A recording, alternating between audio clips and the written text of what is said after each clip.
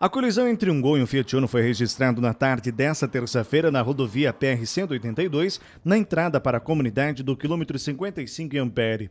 Informações dão conta que o condutor do Uno, ao tentar uma ultrapassagem, perdeu o controle da direção e, ao passar por uma ondulação na pista, bateu na traseira do Gol, que saiu da pista e capotou.